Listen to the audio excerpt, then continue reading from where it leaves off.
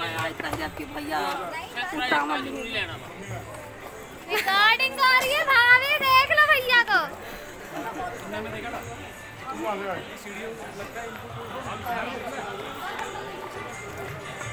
अरे चिल्ला।